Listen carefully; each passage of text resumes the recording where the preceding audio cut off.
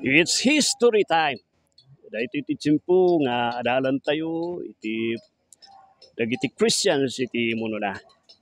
Uh, tsimpo nga adalan tayo dagiti kasatno nga nagtrabaho ni Apo Dios iti muno na kan anya ti connection na dagitoy iti iti religious groups kan denominations itatanga panawan. Ah nabanod dati history. Uh, hangko nakita ta importansya na dito gana didimteng di tsimpo nga nakita ti importansya na nga nuhan mo ti history no awan ti importansya na ti history. It is just like may isa ka nga uh, ubing nga awan pakialam mo iti lululong ti lululong ti lululong mo. So masapol nga adalan tayo ti history tapno makita tayo no ay na iti nagapuan na kasapno nga nagtrabaho ni Apo Diyos ti muno na dagiti pamati ti lululong tayo ti pamati. Ken anya ti development na ti Christianity iti napalpalabas tatanga panahon uh, the ignorance iti history and the rejection iti panag-adal ti history is a blatant rejection iti panagtrabaho ni Apo Diyos na palpalabas. So nga, napatag iti history, mayat nga adal iti history. Uh, kung man iti may nga viewer, apay nga na lang ngayon sulsuro ka na kami dito ijay, ijay Bible School, ijay yan mi. And kung man nga, wen, sa bagay uri kanyak, nagapuak ti daktal nga Bible School, ijay uh, Visayas, ng Adaman ti history nga subject na mahan nga naipresentan nga nalawag dagay banag nga importante iti church history. Nga itatanga simpo intention tayo, we go back to the important nga muhon, dagiti muhon nga events. Iti Christianity, taadalan tayo dagiti scenarios nga nangyari di tap no maklarify tayo tata. No kasatno nga nagtrabaho ni Apo Dios iti napalpalabas. And uh, On the other side, the purpose no apay nga nag-record ta haan nga tapno itag-ay iti baptist. Uh, the mistake nga mang mangyari tata kat uh, kadagiti ka kado nga baptist kat jay thinking nga ti baptist lang iti pudpudno nga denomination. Jay thinking nga ti baptist lang iti pudpudno nga church which I disagree Ada dagiti kakabsat tayo nga ada jay daduma nga grupo nga inawat damat ti ebanghelyo nga pudpudno nga tinalakdan ni Hesus Kristo nga maan nga Baptist Association nga yanda. Their church are not even called Baptist jay. Ngam pudpudno nga tinalakdan ni Kristo Jesus kan pudpudno nga ti pudpudno ti panakaawat da iti iti kinasasino ni Kristo Jesus. So nga kunakat it is so unfair nga ada dagiti uh, Baptist ta nga mga kusar nga the only group nga pudpudno diri lubong the only kat iso dagi Baptist denomination. So nag uh, I I would I would disagree. Adati ka kapsat tayo tinaduma nga haan mat nga Baptist lang. But since I am a Baptist and uh, I was accused concerning the issue ti Baptist kan reform dagiti reformers I would like to clarify kan agsublit iti history dagito tapno malawlawagan tayo. Uh, iso iti mabalin nga adalan tayo tata tapno makita yun no anya iti nangyari dito eh. Dati Baptist nga group nga dito kat it is not haan nga nadayaw dito nga term. Kinagpayson na iniinbarsak dagiti dagiti persecutors dito nga term nga Baptist nga dito eh. This was a term nga ti intention dakat mangibabain, mangidadanas The intention dito nga nagan kat pabainan dagiti tattao nga ibagbagada binautisaran mi na lang orudon ni Zuda, bautisaran nyo pa ilang, da kayo nga baptist aya. So, DJ Trimoran, baptist kayo. Ana baptist. That was the first nga nang usaran na rebaptizers. Rebuildi kayo iti church ti Romano Katoliko. Binautisaran ti church ti Romano, bautisaran nyo man na Zuda iso da jirimuanan nga baptist it is a term nga rebuilding it is a term a name nga panang idadanos it is a term of mockery panang uyaw gapus dagiti nga tao nga thinking dakat our iti pamati. Idi first katangakat nga akseptaron dagiti nabirngasan nga baptist idi ingana later on there came a time Hindi nakita na dito nga nadayaw nga term just like the word nga Christian. The word nga Christian kat it was not a name nga nainagan na kita apostol.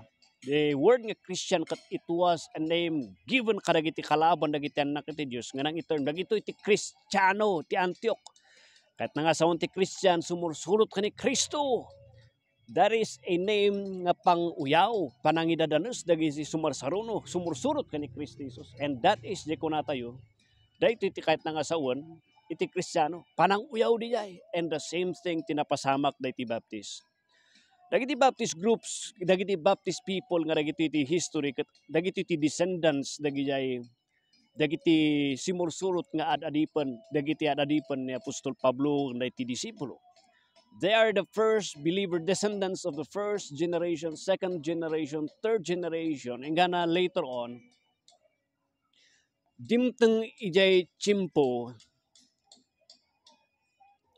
nabangon iti Roman Catholic Church, there was a problem iti government kan religion. Inga na didimtang di chimpo ni Emperor Constantine. di napalpalabas before ni Emperor Constantine, all all Christians are being hunted na ananup da nga kasla animal kat mapat mapat da. Inga na adda iti may nga emperor nga nang itad iti banur dagiti Kristiyano. Isura ito ni Emperor Chris, Emperor Constantine where he welcomed the Christians and that was the thinking ti tao di the Christians di dahito ti sumbat ti kararag tayo. Hante nga rebuild di dahito nga empire ni Constantine tabaka agsubli di chimpo nga ano panda tayo. Iso nga uwan dalatan nga uwan kini Constantine nabuo di church idi and that was the formation of the Roman Catholicism. Nam beside jay nabuo nga church ijay ijay turay ni Emperor Constantine, mayat ini first di ay, ako'y bagbaga nga madi. The first nga group ijay, ijay, ijay, ijay Christians nga nag nga inakseptar kan nagpasakop kini Emperor Constantine nga simuporta kan in-embrace mat lang ni Emperor Constantine ket nagmayat iti takdod da they were the very they were holding firmly the truth is out yapo ingana ijay tirimora ng tradition. Di ay ija interim walang tinagadunga sursuro nga naingay-ingay iti church. Nga tapnohaan la ang agribildi kan agsublima ng agtartaray da jiban bantay. The church was forced. The church was forced to embrace the mistake nga di ay for the sake of peace. Iti nangyari dito, ada dagiti da mga churches kan Christians outside dagiti nabuo nga nabuo nga mangprotektar iti government ni Emperor Constantine. Isuda tinang laban dagiti nga additional kan hanga usto nga sursuro nga tradisyon nga naingay-ngayon ditoy churches nga mang, mang, mang back, back up kini Emperor Constantine. And to the point nga bautisarandan, to the point nga they make the scripture above iti above iti government above iti church. Nagwala dagiti pope kun padpadi idi and even the government ta nagkonektar di there was a union ija nga simpon iti church kan iti iti church kan uray iti panag-asawa iti church kan religious religion idi. Kat dagiti basit nga grupo nga dati igid-igid nagpetisyon da nga agsubli kami we ought rather to be God rather than men. Di baptism nga di ay ti pinaka-worst, di binautisaranda da iti babies da, dimteng di chimpo kinas kasaban na dagiti ubi nga dagiti binautisaranda da manan, and that was an insult to the church which was married ijay Roman Catholic Church idi imo na. Kat isuna ito itirimo na, anya tikat yung asawan binautisharan min isuda di ubing, ubing da. Bautisharan nyo manan isuda data. Loko kayo, anya bagbagayo, kasla kami nga piki nga simban. That was the time nga pimudutan itirik na. Dagitoy, dagitoy leaders idi muno na and they called gapus dagitoy kayo nga grupo nga awol rebuildi kayo and they were called at the time nga Anabaptist rebaptizers for the defending, for the defense iti truth, and for the sake nga itaktaktad na ti truth, napasamak di jay, and they were being hunted down, they were being killed by the Roman Catholic iti, iti history will tell, adu dagi inquisition nga napaspasamak, that these people branded nga name nga Baptist, ket pinatpatay da. Iti first, han nga kayat dagiti Christians, iti word nga Baptist, uh, the understanding nga rebuildi. But later on, dagiti group nga daytoy as an honor of the faith nga itaktakder da, they embrace the name nga inbarsak da kanyada, nga akusasyon kanyada nga rebuildi iti kwa. Then later on, inaganda di asosasyon kanji grupo nga yanda nga hindi katanda kayat madida di word nga baptist. But later on, they embrace nagan nga baptist kami, Anabaptist. That was the golden years Jagay believers di no kasat nga rimwar di baptist. Han nga rimwar di baptist kapus kini John di baptizer. Awan di jay, mistake di ay. Uh, rimwar di jay nga nagan, ijay chimpo. Iti panagasawa, iti government, kan iti religion, kat nabuo ti Roman Catholicism, ada dagi nag-oppose nga Christians, Nupus da dagito churches nga nakiasawa, dati church nga nakiasawa iti religion, the Roman Catholic, ta adumutan iti iti sabali nga sursuro nga naingay ngayon iti iti ingay ngayon da nga for the sake iti peace iti government sige inakseptar da latan nga inakseptar and uh, later on to the point nga mabautisaran iti maulit nga mabautisaran dagiti membro da nagwala dagiti Roman Catholic Church. Kun ada nya katyo nga sawan piki kami ti ararami nyo piki kami nga church kalokon dayta and the Baptist word was was thrown at these believers. Nga di first, handa kayat nga akseptaren, but later on, in in the act of defending the truth, inayat na di word nga di, well, sige nga ron, no baptisti ko na kada kami, we will embrace that name as a, as a title of honor, iti kastayo kada kami. Because of the defense of the truth, sige no kunay nga baptist kami, baptist kami nga ron. So those who are the golden years Ken that those were the time nga naanak daytoy word ken nagan nga Baptist which was named by the believers today. The Baptists hindi kat uh, they were good defenders of truth. They are known to be defenders of the scripture. Uh, they hold iti ebanghelyo, they stand uh, perfectly iti gospel iti Dios. Di iti panakaammo iti tao iti Baptist iti. But there came a time nga nag-deteriorate dati Baptist. That was the time iti 1500s kan uh, somewhere iti late iti middle ti 1500s to 1600s where the Baptist kat nagruging ag deteriorate.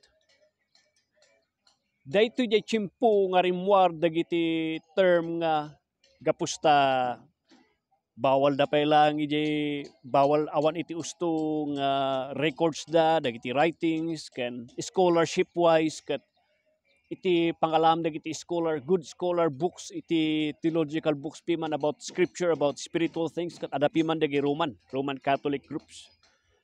This was the time na deprived da iti scholarship iti iti truths dagiti Baptist. And there was a deterioration where a form adat tinayawag kanya da iya chimpo idi 1500s kon 1600s. Dagiti Baptist nga dayto kat nagsubli da motan iti kuna tayo nga nagdeteriorate da iti panangitakder da iti scripture. Nga idi iti takder da the scripture alone. The scripture iti batayan ti pamati. Iti authority ti pamati haan nga di padi, ti mangisalakan, ti hanga di simbahan, ti batayan, iti truth, it is the scripture. But there came a time, naglaks di nga stand. Dimtong di chimpu di stand nga di ay kat uh, nagdeteriorate nga dagiti Christians nga dagito nga Baptist calling themselves nga Baptist kat agrugi damot nga agtaguog mamati damot ti extra revelations ag ag ag dependar damotan iti agtaraok damotan ti dadu mga revelation iti Dios malaksi iti Bible na ignoran di Bible lang And they were called, ija chimpo nga diay, nga Quakers. Naglalaaw da, agpupukaw da, agbalbalindan nga wild. And ti pinakasikat dito nga nagbaling nga leader dakat it was ni George Fox. And uh, to the point nga could you just imagine nga ada iti claims nga kung kunada inbaga ni Apo Diyos kanyak, inbaga ni Apo Diyos kanyak, there is already an acceptance ti extra revelation in their time nga ije nga chimpo adu dagiti wildness iti mang mangyari iti services iti grupo ti Baptist. Unknowingly in this deterioration iti Baptist nga dagitoy nga idi umuno na kat usto kaslamat lang di Roman Catholic. Dagiti Roman Catholic nga church nga daytoy di first nga nang buo kaniya da idi umuno na nga naurnong nga embrace ni Constantine kat true Christians dagiyay but later on habang bumaybay bay bay bay bayag na infiltrate na infiltrate the Roman Catholic nga church iti tradition. Isu din nangyari diay tata nagwala dagiti Christians pinitipetisyonan na dagi panagdeteriorate at scripture. Iso din ayawagan nga Baptist adamat ti deterioration dagiti Baptist nga dagitoy. Later on which ito nga chimpo nagreact dagiti dagiti reformers nga kunada unknowingly through the nagadu nga resources iti padpadi idi dagiti books and writings adumat dagiti binangon ni Apo nga leaders iti Roman Catholics nga nagsubli iti scripture nga nagdeteriorate mo titi Baptist and dagiti nga padi they were known to be the reformers daytoy jay chimpo nga kunapi man dagiti reformers da kayo nga Baptist what has happened kada kayo? Da kayo iti forerunners may iti faith nga nang itakter tagpaiso but you have come to a point ni na sabali mo tin tinapanan nyo. They were called reformers dagiti padi nga daytoy because they went back to the scripture. So nga daya ko nga sola scriptura sola fide nagsubli da nga pamati lang awanon da duma. Ni Kristo Jesus lang uh, ti parabor lang ni Apo Diyos ni makaisalakan iti Dios nagsubli da ijay Sino? Dagi reformers nga dagito nga kunada what has happened kada kayo nga Baptist? Da kayo iti forerunners mi iti faith nga nang itaktak ti truth.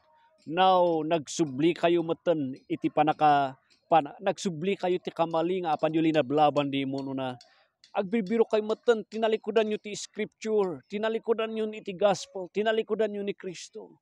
Kanya tinang nangyari kada kayo. Iso nga dito iti pagyamanak. I am a Baptist by stand. Amok ti history kanaya ako nga bain. Doahanak nga member imi katak ti any association iti Baptist but my conviction kat no damagan anya nga denomination iti an mo nga more nga iyan mo.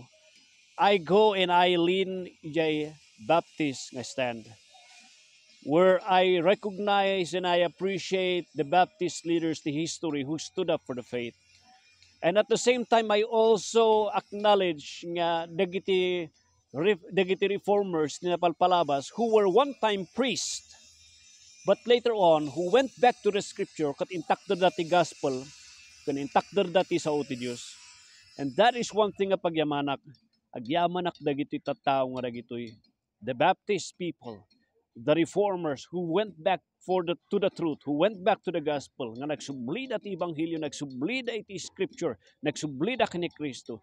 That's why I am not ashamed to be called to be to claim nga ipangko ti bagik nga adak di Stanity Baptist kan adak mat lang I would uh, consider myself as on the side of the reformers ngam hangko ibagbaga nga dagito lang ti putpuno nga sekta iso ti stand nga iyan ko lang I am on the conviction ti ba, iti Baptist conviction and I am on the stand iti reform conviction nga mangitaktakder that the scripture is enough. The gospel is enough. The ni Kristo kat putpudno. Iti church kan state kat agsabali haan nga mabaling nga paglawakan diay.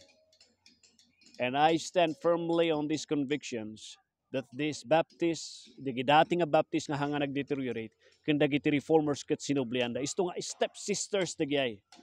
In the deterioration of the Baptist groups, God raised up truths by using priest. Nga inmikat iti kinapa imikat kan inrikant da dagay traditional nga sulsuro dagiti Roman Catholicism. And they went back to the scripture and they were called the reformers.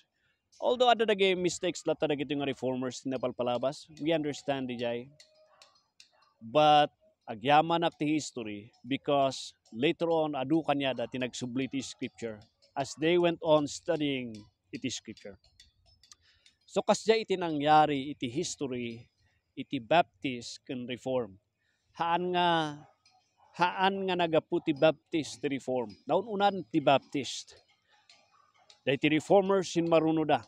So dahito ti evolution nga na na madigya word kami nga day nang deti deti nag nag nag uh, nag, nag nagtayakan iti istorya ti Christianity in the persecutions ti Christianity dapan dagiti Roman Catholicism nga diay nabuuda and in their gladness nga kunada dati nga government kat in-embrace da tayo.